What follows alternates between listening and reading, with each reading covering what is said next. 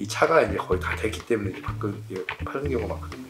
아니 그러지 않아요. 요즘에 기술력이 좋아서 40만도 우리만 타요. 50만 드세요? 그럼요. 관리하기 나름이죠. 아까 20만이라 그랬죠. 네. 1톤 노란 넘버 달고 영업하시는 분들 1년에 몇 킬로 타는 줄 아세요? 승용차는 평균 키로수가 한 3만을 봐요. 출퇴근하고 뭐 그런 게 기본 키로수가. 용업용은 그거보다 두 배 이상이에요. 8만, 10만을 봐요.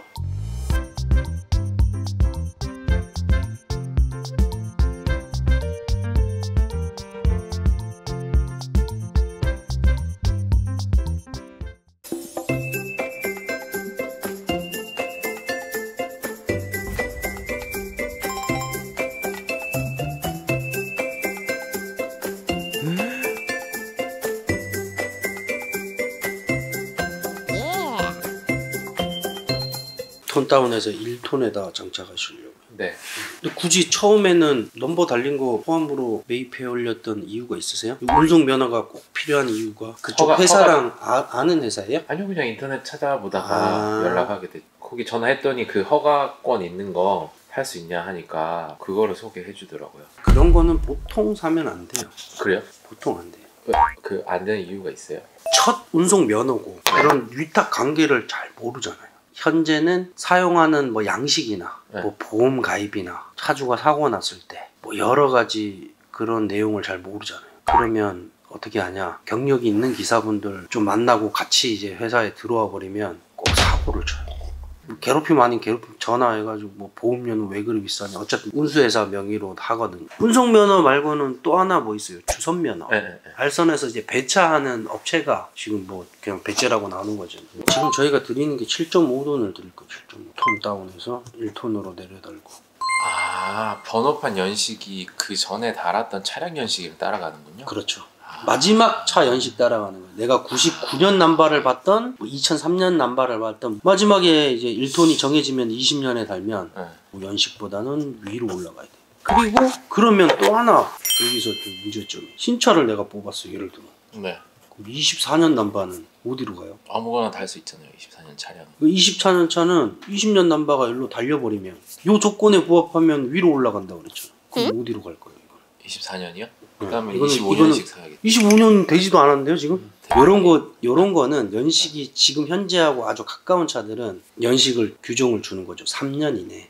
그런 규정을 안 주면 이거는 뭐 무조건 신차밖에 못 가거나 그쵸. 거래 양도 양수가 되지가 않잖아요. 조건이. 그러니까 저희가 매입을 하더라도 그 서류 그대로 받아놓고 양수자한테 넘겨주는 거지. 저희 쪽으로 이전했다 갈 수 없는 구조예요. 아 일종의 이제 중개 형식으로 하시는 거예요? 당연하죠. 넘버도 마찬가지. 이거는 명의 이전 받으면 6개월 안에 양도가 안 돼요. 음, 그리고 개인이 사는 넘버들도. 네. 좀 제가 걱정되는 게 저도 디젤을 사봤는데 디젤 차를 이제 운전하시는 분들도 한 20만 원, 30만 되면은 본인 차들을 거의 다 이렇게 운수업을 그만둬서 바꾸는 게 아니고 이 차가 이제 거의 다 됐기 때문에 이제 바꾸는 이게 파는 경우가 많거든요. 아니 그러지 않아요. 요즘에 기술력이 좋아서 40만도 우리만 타요.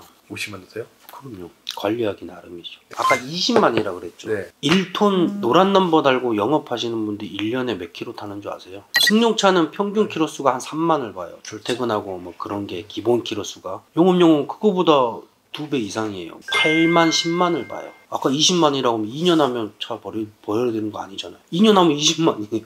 이게 생계인 분들은 택시처럼 탄단 말이에요. 그럼 2년 하고 버려야 되는 건 아니잖아요. AS도 남았네.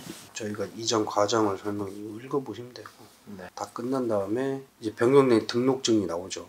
네. 허가증이랑 요거 두 개 들고 세무서 가셔서 종목 추가하면 돼요. 사업자 등록 발급은 아니고 네. 이제 종목 넣어야죠. 세 개가 이제 갖춰지면 이제 유료 카드 만들어야 돼요. 화물 복지 카드. 네.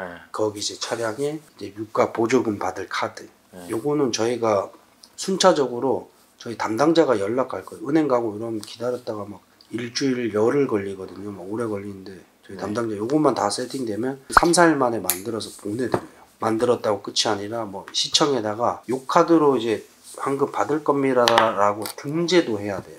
등재 업무까지 저희 여직원 다 해드려요. 네. 네.